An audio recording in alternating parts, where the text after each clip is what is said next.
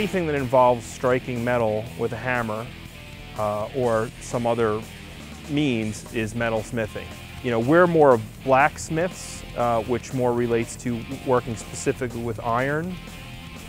We do all sorts of decorative metalwork for people's homes. We do gates, we do railings, we do furniture, we do historic restorations. The training process here at Spirit Ironworks is very organic because we tend to um, train them as per the jobs we get in. Maybe they're just good with their hands, they have really good carpentry skills, um, and a lot of our guys here have auto body skills, and that seems to relate enough that we can train them.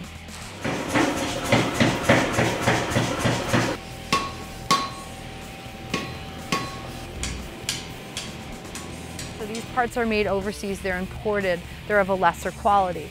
We're able to give our clients whatever they want. We focus primarily on the blacksmithing processes. So we heat up the metal, we change the shape of it, and we make it conform to what the design needs to be.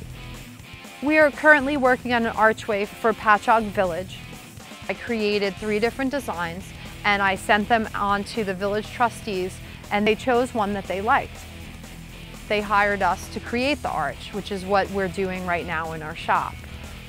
We frequently check in with the customer to make sure that they're getting what they imagine that they're, that they're getting.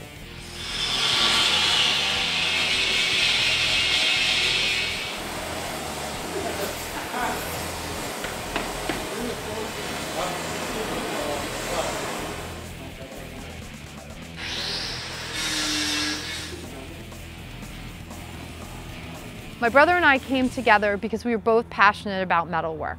We both liked working with our hands. We both thought the process of blacksmithing was super fascinating.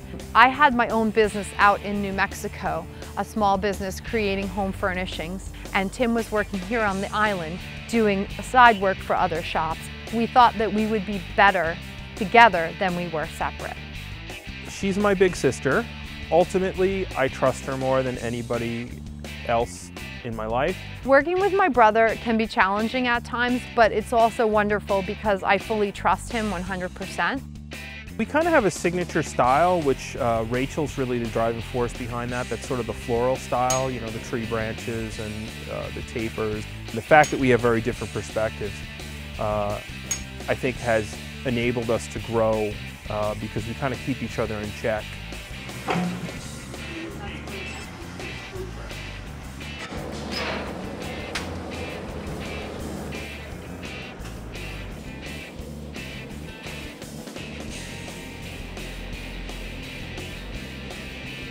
This business is an extension of ourselves. It's a passion. It's not just a business.